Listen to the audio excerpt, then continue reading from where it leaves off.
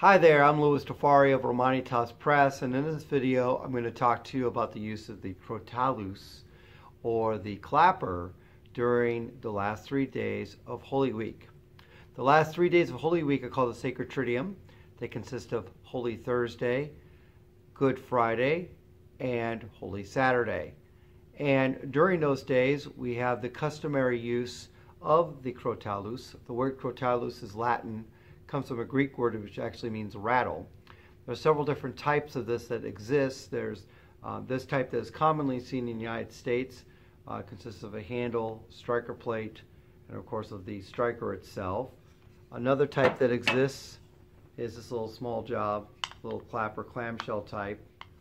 Uh, another type that you'll see is uh, again, more like a ratchet or a rattle, and it actually spins around, and it creates that uh, that that sound that you could hear sometimes done in sound effects, um, maybe in movies or other things as well. Now, the first thing is the use of the crotalus is actually by custom. It's not prescribed by the rubrics. This is mentioned by uh, such rubricians as Fortescue, um, but it's commonly done. And it's used to replace the altar bell from the Gloria of Holy Thursday up until the Gloria of the Easter Vigil. And the reason for that is the altar bell is a symbol of joy. In fact, even the church bells, the sacristy bell, they should all be suppressed as well. Because after the glory of Holy Thursday, we begin now to enter into the greatest part of our Lord's Passion. And so this is used to strike a very somber tone and it's used out of custom in the very same places where you would normally ring either the altar bell or the sacristy bell or even the church bells. And I'm going to explain real quick um, how that's done. Um, as I said, this use is only customary, so there's no actual real prescription or rules on how the crotalus is even used. However, I want to demonstrate to you a very dignified and somber method for doing that um, with the caveat as well um, that other ways that are, are done often sound rather violently. Um, they're somewhat disturbing and could even damage uh, your crotalus. So the use of the altar bell, there is prescriptions on that that the rubricians do talk about as well as the missal. Now I address this on uh, my website. There are two articles up there right now, part one and part two. They describe not only the history of the altar bell, the construction of the altar bell, but the proper use of the altar bell, how it should be rung. And just quickly, the altar bell is supposed to be rung in an up-down fashion, making a double stroke for each ring. So at the Sanctus, ting ting, ting ting, ting ting. Um, the method of ringing them side to side is actually not technically correct.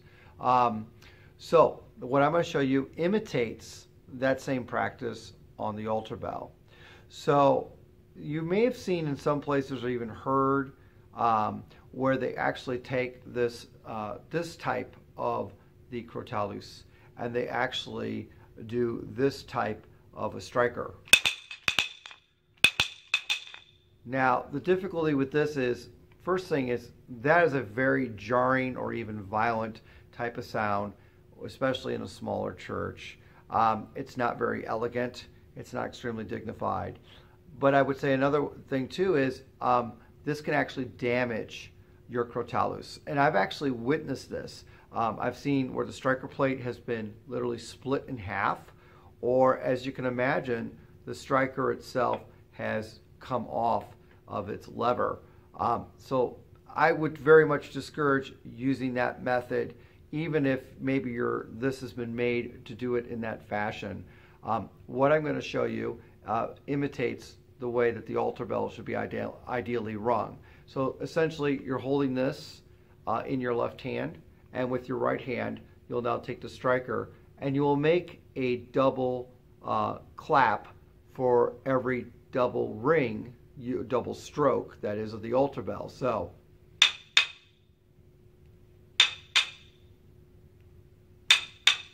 So that would have been what we would have done at the Sanctus. Now, that's certainly loud enough to fill a small church, even a large church would sound. It's still dignified. And again, like I said, it, it doesn't jar everyone out of the pew. Um, and at the same time, it, it, it, gives the alert that we want to give. for that. So, um, also, if you notice, I, I gave a little pause between each double clack.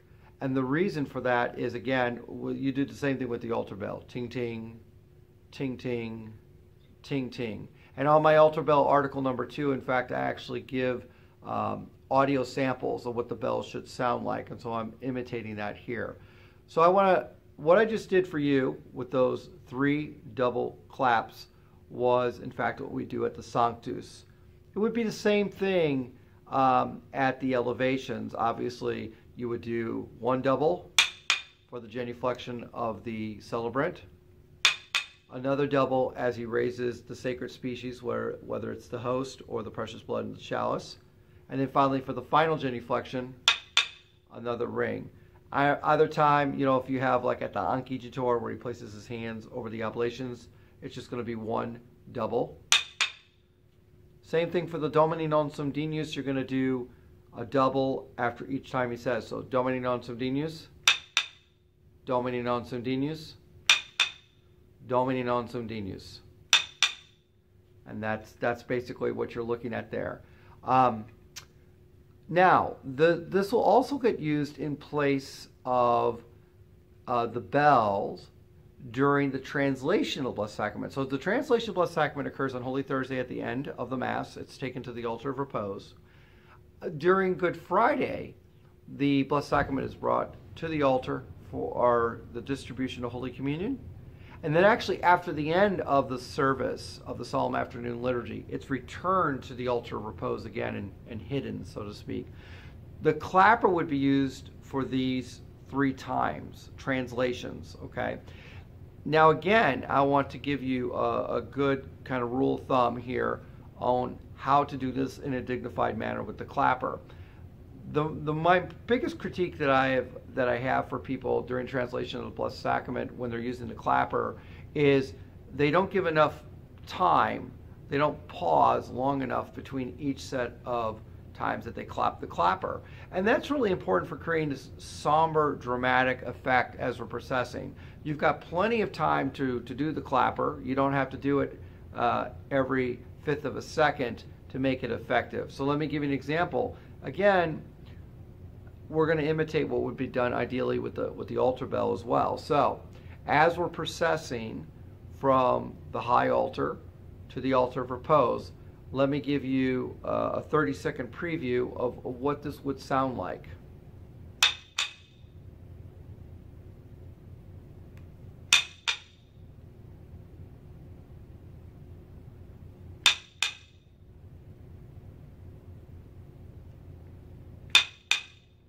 That's the general idea right there. There's just a nice lengthy pause uh, between each set that I'm doing. And as we're walking and the Pange Lingua is being sung on Holy Thursday. On Good Friday, it's it's uh, generally in silence. Okay, um, again, it's going to have that dramatic effect. But I do say having those lengthy pauses between really helps to emphasize each double set of clap that you give. So, anyways, there are some ideas there on what you can do to effectively use your crotalus during the sacred Triduum. Uh, another thing is this would also be used to signal everyone in place of the sanctuary bell or sacristy bell before you um, process in um, every single time you would use that normally, okay? Um, so, in fact, the church bells technically would be silenced as well. They, they wouldn't even be rung for the Angelus, okay? Um, in fact, there's some places, um, there's a YouTube video of a church in Malta that has a type of crotalus. They actually crank it. It's extremely loud. And it's taking the place of the altar bell to either for the, to announce for the Angelus or to announce the faithful it is now time to come to church, uh, which was another reason in some countries that they would actually uh, ring the altar bell. Okay, um, so this is another interesting custom where they they silence the joy of the bells during these last three uh, during these last three days of Holy. So I hope you found this little video on the Crotalus somewhat helpful and instructive. Um, just a reminder, I do have ceremonial notes for Holy Week, very detailed and comprehensive. um, that are available on my website. Just uh, go up to um, it'll be store and it'll pop out and it'll say ceremonial notes. And you just scroll to the bottom of the page and you'll see them there. Um, also, please consider subscribing to my free email updates. Again, just click on subscribe on the side. And lastly, um, if you found this video to be helpful, um, please share it with others. And also, please consider making a donation uh, to Romanitas Press. Uh, again, you just click on support on the bottom, and uh, you can do it through PayPal with any credit card, or you can send a check in the mail. Anything is helpful, and I always pray um, for the benefactors of Romanitas Press uh, every day. Um, want to wish all of you a blessed and fruitful Holy Week in preparation for the great uh, joy and triumph of the resurrection of our Lord Jesus Christ. So until next time, I'm Louis Tofari of Romanitas Press, and God bless.